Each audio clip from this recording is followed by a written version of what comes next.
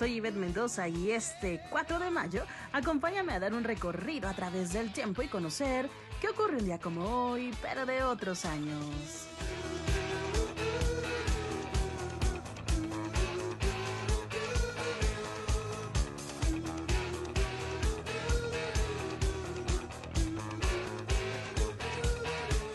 1933. La Catedral de Oaxaca es declarada monumento histórico. Su construcción se inició en la segunda mitad del siglo XVI y se consagró el 12 de julio de 1733 por el fraile mercenario Francisco Calderón y de Santiago.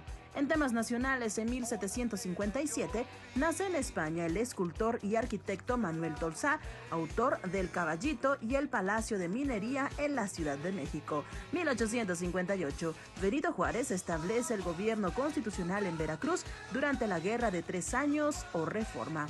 1904, nace Agustín Yáñez, escritor, gobernador de Jalisco y secretario de Educación Pública. 1904. Porfirio Díaz reforma la Constitución para aumentar el periodo presidencial de 4 a 6 años. 1938. Nace el escritor Carlos Monsiváis en la Ciudad de México.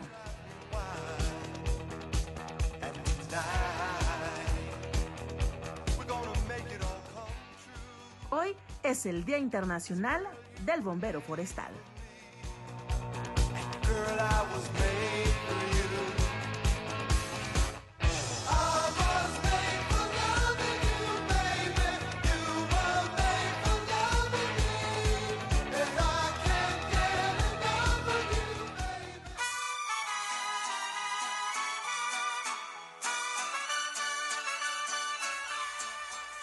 Y este 4 de mayo el santoral nos permite celebrar a quienes llevan por nombre Silviano y Florian. Muchas felicidades.